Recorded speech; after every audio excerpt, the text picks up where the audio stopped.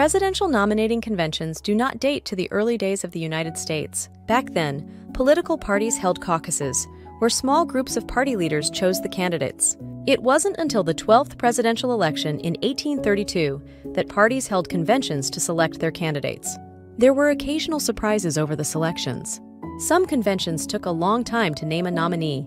In 1924, the Democrats spent 16 days to take 109 votes to nominate John Davis, who lost the election to Republican Calvin Coolidge. Modern conventions move quicker than that. Most of the delegates are awarded to candidates through state caucuses or primaries, and the nominee is known before the convention begins.